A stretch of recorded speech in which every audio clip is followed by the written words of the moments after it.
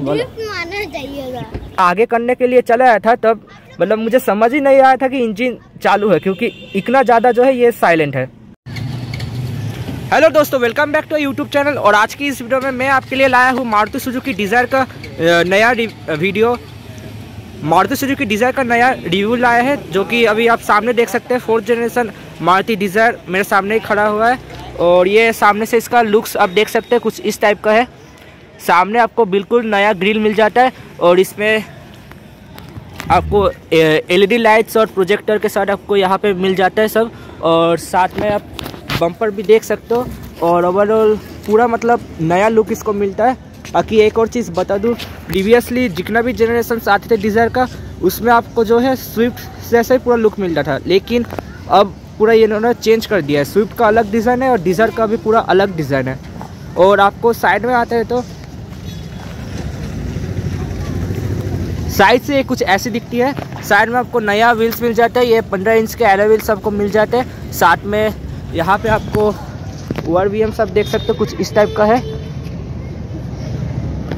और overall look सब देख सकते हो। साइड से कैसा लगता है आप देख सकते हैं। वहाँ पे आपको एंटीना भी मिल जाता है। और इस बार इसमें डीजर में आपको सनरूप भी मिलने लग गया है। यहाँ पे आपको साइड डोर में रिक्वेस्ट सेंसर से मिल जाते हैं और इस बार इन्होंने एक और चीज़ किया है। नॉर्मली आपको बस ड्राइवर डोर में मिलता है, लेकिन ये आपका साइड में भी, इस साइड में भी आपको मिल जाता है रिक्वेस्ट सेंसर्स डीजर में। डीजर का टायर प्रोफ़ाइल आप देख सकते हैं, यहाँ पे 180 एटी वाई बाई सिक्सटी है। इसमें आपको 15 इंच का जो है व्हील्स मिल जाते हैं और एक और चीज़ आप देख सकते हैं, अभी इसका जो चाबी है कुछ इस टाइप का है, इसमें आप इस बार आप, इन्होंने बूट बूट भी जो है आप लोग चाबी से खोल सकते हैं, जो कि पहले था नहीं डीजर में। तो अब जो है आप इससे लॉक अनलॉक के साथ साथ बूट स्पेस भी आप इसका खोल सकते हैं। जो बूट डोर है वो भी आप चाबी से ही खुल जाएगा। और अभी एक बार गाड़ी को आगे करके देख, देखते ताकि जो है हम लोग पीछे घुस सके।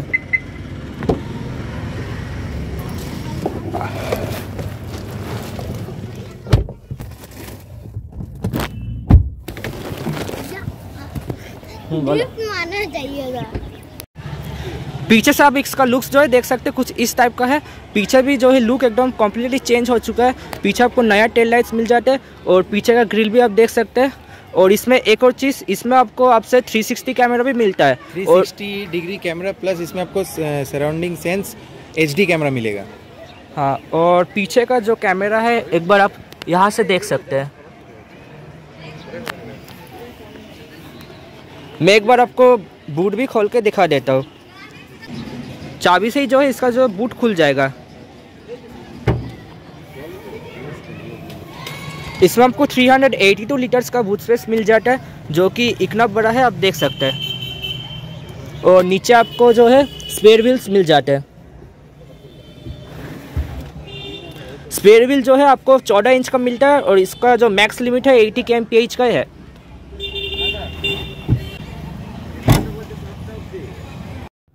अभी हम लोग कार आ गए कार के अंदर और अंदर से ये कुछ इस टाइप का लगता है, आप देख सकते हैं।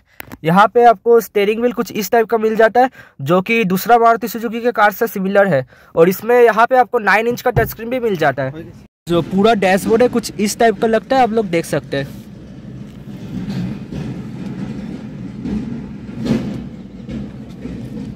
इस बार यहाँ पे आपको वायरलेस चार्जिंग का सपोर्ट भी यहाँ पे मिल जाता है और साथ में यहाँ पे एसी का कंट्रोल्स यहाँ पे दिख जाते हैं।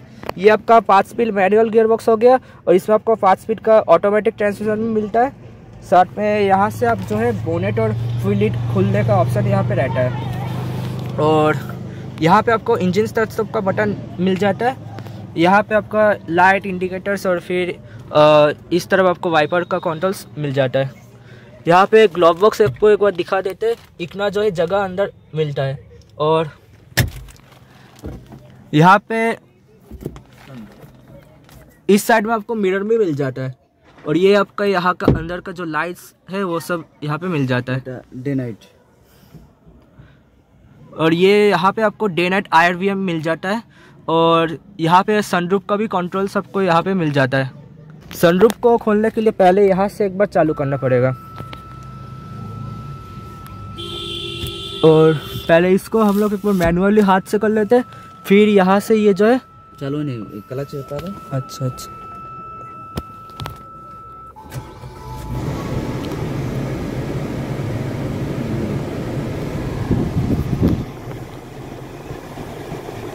यहाँ से जो है आपका सनरूफ खुल जाएगा।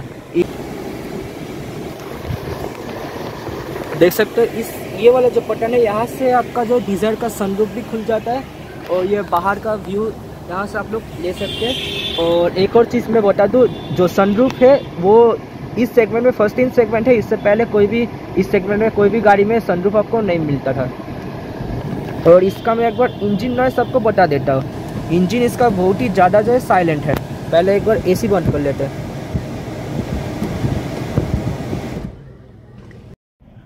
इसका इंजन साउंड आप देख सकते हैं, काफ़ी ज़्यादा जो है वैसे तो मैं एक चीज़ आपको बता दूँ, पहले इसमें आपको चार सिलेंडर का इंजन मिलता था, अभी इसमें थ्री सिलेंडर का हो चुका है, लेकिन फिर भी जो है, इंजन काफ़ी ज़्यादा साइलेंट है।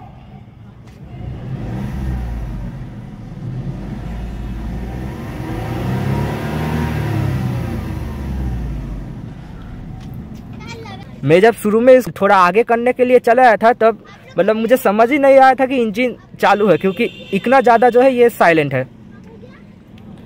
और यहाँ पे आपको स्टेयरिंग में भी आपको जो है कंट्रोल्स मिल जाते हैं। ये आपका वॉल्यूम अप डाउन का हो गया।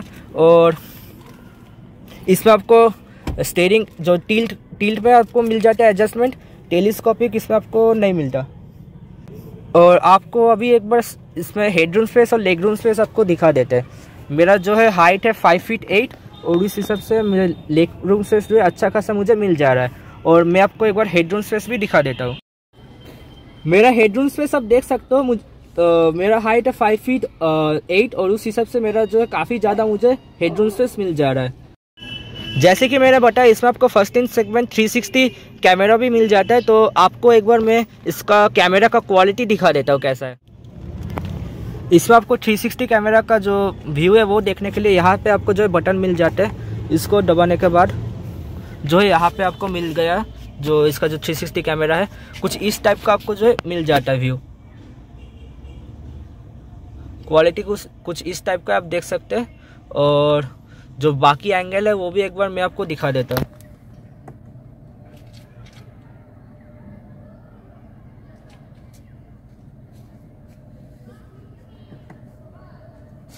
इसमें आपको दो जो एंगल मिलता है थ्री सिक्सटी कैमरा का, और मैंने दोनों ही आपको दिखा दिया।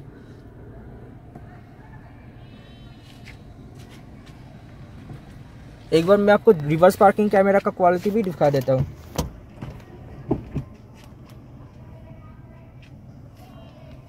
इसका रिवर्स पार्किंग कैमरा का जो क्वालिटी है, कुछ इस टाइप का है, आप देख सकते हैं। क्वालिटी जितना है, आपको जो है क्लियरली समझ आ जाएगा कि पीछे जो कितना क्या है, क्या नहीं, वो इतना आपको जो है समझ आ जाएगा। जब आप रिवर्स करेंगे, तब रिवर्स पार्किंग कैमरा के साथ साथ आपको जो है ये वाला व्यू भी मिल सकता है। या फिर आप बस ये वाला चाहते हैं तो ये आपको बड़ा स्क्रीन में एकदम मिल जाएगा। या फिर एक और जो है व्यू आपको यहाँ से मिल जाएगा साइड का भी, और ऐसा भी जो है व्यू आपको मिल जाएगा। तो ये आपका मतलब चलाने में, जो है पार्किंग करने में और भी ज़्यादा आसानी बना देगा। MID के जो है आपको फीचर्स थोड़ा दिखा देते हैं। यहाँ से जो है मैंने चेंज किया तो। यहाँ पे आपको ड्राइविंग टाइम दिखा देगा कितना टाइम से जो है आप चला रहे और ये अभी मैं दिखा रहा हूँ, ये अभी हज़ार किलोमीटर से जो है ज़्यादा चल गया है। और टेम्परेचर भी यहाँ पे आपको दिखा दे रहा है। ये आपका यहाँ पे आपको टाइम और डेट भी दिखा दे रहा है। और बाकी के जो जो मतलब जो भी चीज़ें हैं, सब कुछ यहाँ पे दिख जाएगा। ये यहाँ से मैं चेंज कर रहा हूँ। ये वाला जो चीज़ है, इसको दबा के।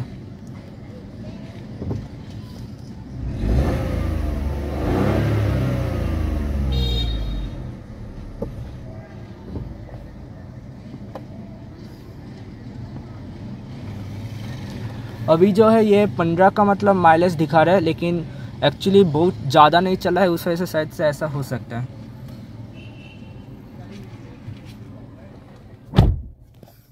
यहाँ पे आपको अंदर से एक बार आयर आई का व्यू दिखा देते हैं। देख सकते हैं अंदर से जो है कैसा लगता है। और ये मैं आपको एक बार बता देता हूँ यहाँ पे जो टच एंड फील है, जो इस गाड़ी का जो टच एंड फील है, वो काफ़ी अच्छा है। आप देख सकते हैं यहाँ पे सीट्स आप देख सकते हो कुछ इस तरीके की इसमें आपको मिल जाते हैं। और ये जो दरवाज़ा है आपका डुअल टोन में आपको मिल जाता है वाइट और ब्लैक का। यहाँ पे आप जो है इजीली एक बोतल रख सकते हैं यहाँ पे। और साथ में ये आपका जो मतलब विंडो का है, वो सब का कंट्रोल्स यहाँ पे दिया गया है। लॉक अनलॉक का भी साथ में दिया गया है।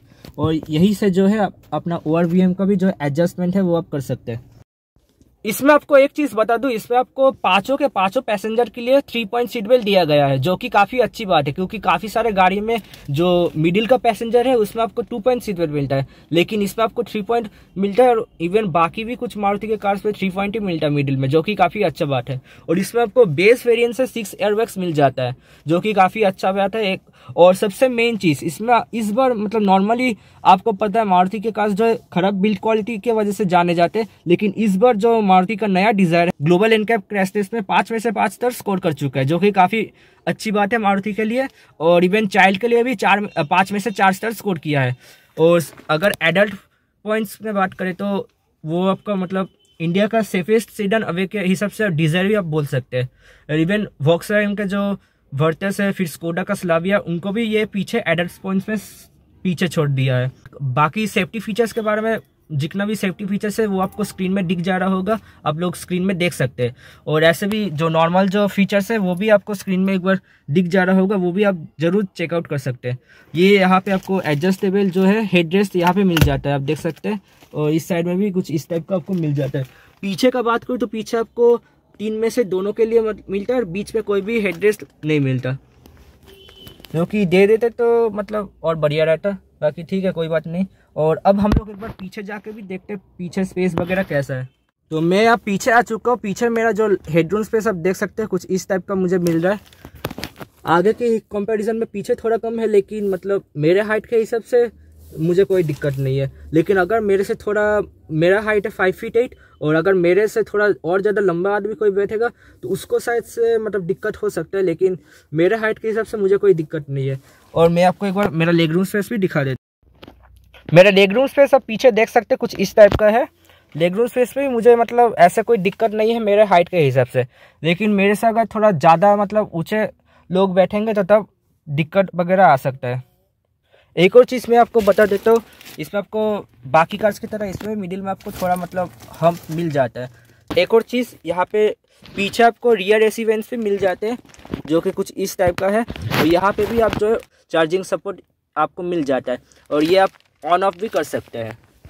और पीछे भी आपको मतलब पीछे का दरवाज़ा में भी आपको फ़ोन रखने के लिए जगह मिल जाता है।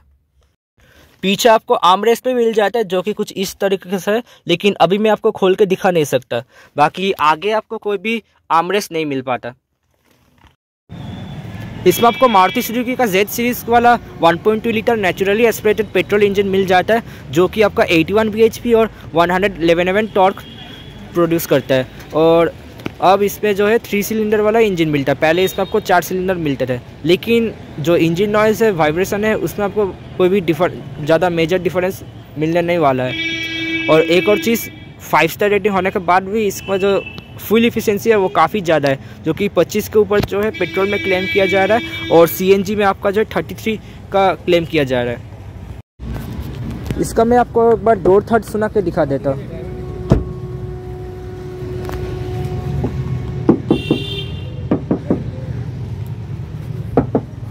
रात में आप देख सकते हो कुछ इस तरीके का लुक लगती है डीजर में। इसका जो लाइट्स का थ्रो है, वो भी मैं आपको एक बार दिखा देता हूँ, रात में अंदर से कैसा लगता है। रात के टाइम जो हेडलाइट का रिस्पॉन्स है आप देख सकते हो, कुछ इस टाइप का है।